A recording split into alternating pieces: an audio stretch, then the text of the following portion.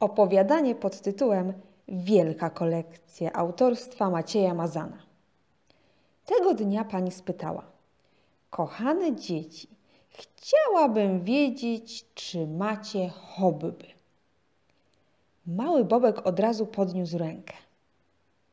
Wstał i powiedział, że on nie ma, ale to dlatego, że wczoraj go nie było i nikt mu nie powiedział, że ma przynieść. Parę innych osób też się zaniepokoiło, więc pani wyjaśniła, że hobby to takie zainteresowania. Na przykład ktoś, kto zbiera znaczki albo szklane kulki, ma hobby. A moja starsza siostra gra na pianinie. Pochwaliła się Angelika Baran. I to także jest hobby, powiedziała pani. Wszyscy się zaciekawili i zaczęli sprawdzać, czy mają jakieś hobby, o którym nie wiedzieli. Ja na przykład bardzo lubię jeść, zwłaszcza torty, zgłosił się placuś. Ale pani go rozczarowała. Okazało się, że jedzenie tortów e, to nie było hobby. A ja chodzę na karate, oznajmiła Ernesta. Czy to jest hobby? A lubisz to? spytała pani. Bardzo, powiedziała Ernesta znacząco, patrząc na Bobka, który od razu przestał skakać obok niej i usiadł w kącie. Tylko nie rozumiem, po co komu znaczki albo jakieś głupie karate. Wymamrotał, ale pani i tak go usłyszała. Dzięki hobby więcej wiemy i umiemy, wyjaśniła. A kiedy więcej wiemy, jesteśmy ciekawszymi ludźmi. Chyba nie chcesz być tak nudny, że wszyscy przy tobie ziewają? Potem pani jeszcze długo rozmawiała z dziećmi o ich zainteresowaniach i umówiła się z nimi, że na jutro ci, którzy mają jakieś kolekcje, przyniosą je do przedszkola. Bobek siedział cicho, bo czuł się trochę nieswojo. Nie miał żadnego hobby i nie potrafił go sobie wymyślić. Szkoda, że nie ma Aleksandra. Wymamrotał pod nosem.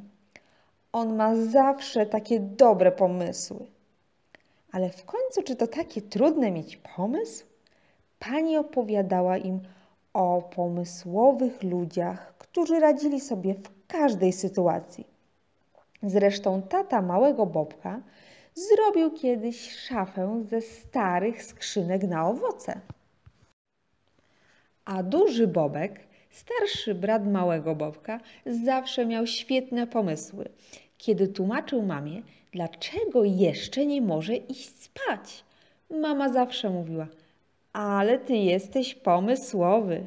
Więc jeśli się zastanowić, mały Bobek pochodził z rodziny pomysłowych ludzi. Tak, im dłużej Bobek o tym myślał, tym bardziej czuł się pomysłowy. Następnego dnia pani oglądała kolekcję oraz zdjęcia, na których dzieci chwaliły się swoimi zainteresowaniami. Bobek siedział w kącie z bardzo nieswoją miną. I jak tam? spytała pani. Nie udało ci się znaleźć hobby? Znalazłem. Dlaczego nie? Odparł Bobek markotnie. Specjalnie pojechałem do domu dziadka, żeby je znaleźć. Dlaczego akurat do domu dziadka? Zaciekawił się placuś. Bo dziadek ma strych, a na strychu mieszka moje hobby wyjaśnił Bobek jeszcze markotniej. Okazało się, że Bobek wpadł na pomysł, żeby kolekcjonować pająki. Szło mi bardzo dobrze, powiedział. Od razu znalazłem dwadzieścia pięknych okazów. I jakich dużych! Włożyłem je do tekturowego pudełka, przykrywce zrobiłem dziurki, żeby pająki miały czym oddychać i bardzo ostrożnie zaniosłem je do domu, bo nie chciałem zrobić im krzywdy. Tylko, że pająki są strasznie ruchliwe. Wystarczyło, że zostawiłem pudełko na stole w kuchni i natychmiast się rozeszły na wszystkie strony. To niedobrze, powiedziała pani. Bardzo niedobrze, bo w kuchni akurat siedziała mama z panią Pieczarkowską, naszą sąsiadką. Oznajmił Bobek strasznie ponurym głosem. Nie wiedziałem, że hobby to takie niebezpieczne zajęcie. To dlatego, że popełniłeś błąd. Nie należy zbierać żywych stworzeń, zawołała strasznie przejęta pani. Mama mi to już bardzo dokładnie wyjaśniła, westchnął Bobek, lecz po chwili powesrał. Ale przestała się na mnie gniewać, kiedy powiedziałem, że to pani mi kazała. Ja, jak to kazałam? Przestraszyła się pani. Czy ja ci kazałam zbierać pająki? Nie, ale pani kazała mi mieć hobby i być pomysłowym. Dlatego mama przyjdzie dziś z panią porozmawiać. Oznajmił Bobek beztrosko i pobiegł się bawić. Miałam naprawdę wspaniały pomysł. Powiedziała pani powoli, tylko wcale nie wyglądała, jakby się cieszyła. A teraz kilka pytań do wysłuchanego opowiadania.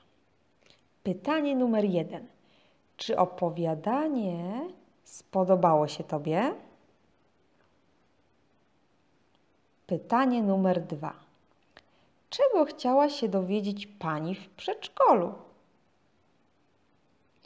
Pytanie numer trzy. Jakie hobby miały dzieci? Pytanie numer cztery. Na jaki pomysł wpadł Bobek? I ostatnie, piąte pytanie. Co stało się z pająkami Bobka?